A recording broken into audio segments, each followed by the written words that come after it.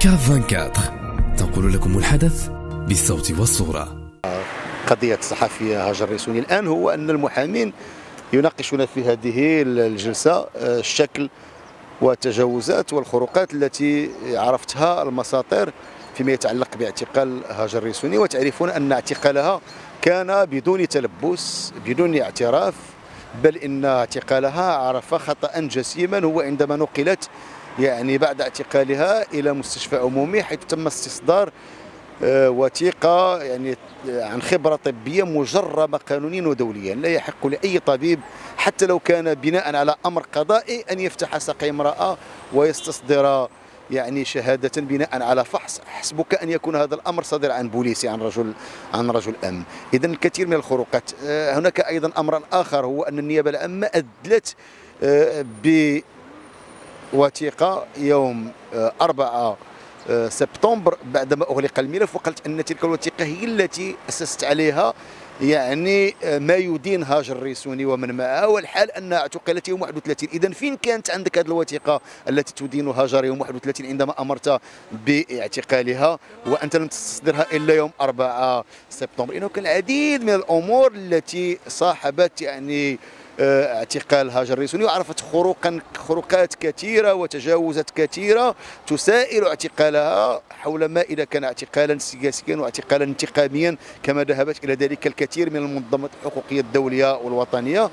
آه، لذلك فإن المحامين الآن هم بصدد مناقشة هذا الأمر والرد عليه وتقديم طبعا البيانات اللازمة لإثبات التجاوزات التي رافقت هذا الاعتقال. آه، اليوم كنحضروا المحاكمة ديال هاجر وديال الدكتور اللي معها وكذلك الخطيب ديالها اللي كنعتبروها اليوم هي محاكمة فيها تراجع خطير على الحقوق الإنسانية للنساء وفيها تراجع على ما وصلنا إليه يعني التراجع عن مغرب ما بعد دستور 2011 الذي المفروض فيه أنه يحمي الحريات ويحمي السلامة الجسدية والسلامة الأمنية لكل مواطن والمواطنات للأسف أن هذه آه المحاكمة كترجعنا المحاكمات ديال سنوات الرصاص اللي ربما قلنا أننا طوينا الصفحة ديالها من بعد هيئة الإنصاف والمصالحة من بعد صدور دستور 2011 قلنا أننا تجاوزنا هذه المحاكمات بهذا الشكل اللي كنتمنوا من القضاء اليوم انه يقول آه، كلمته يبرهن على الاستقلالية الفعلية وأنه يتم إطلاق سراح المعتقلين.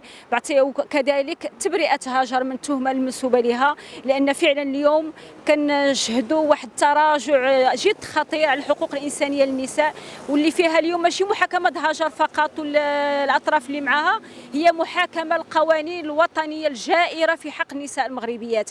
هي محاكمة ممكن تكون فيها آه، متهمة كل مرأة مغربية لأن اليوم في عوض ما نراقبوا ما ندافعوا المواطن ونحميه ونحميو السلامة ديالو ولينا كنشوفوا أن الجهاز ديال الضابطه القضائية أصبح يضع يعني المرصاد على أجساد النساء وكيتدخل فيما داخل ارحام النساء اليوم القانون الجنائي موضوع أمام لجنة لجنة التشريعيه في البرلمان. المفروض أن تكون هناك مراجعات حقيقية لأن من العيب اليوم بعد دستور 2011 نوجدوا محاكمة بهذا الشكل. اولا اليوم الجلسة اليوم كتناقش الإجراءات الشكلية التي رافقت الاعتقال ورافقت يعني التفتيش ديال العيادة. كلها إجراءات باطلة. وما بني على باطل فهو باطل. تابعونا على مواقع التواصل الاجتماعي. وما تنساوش الاشتراك في قناتنا على يوتيوب وتفعيل الجرس باش يوصلكم كل جديد.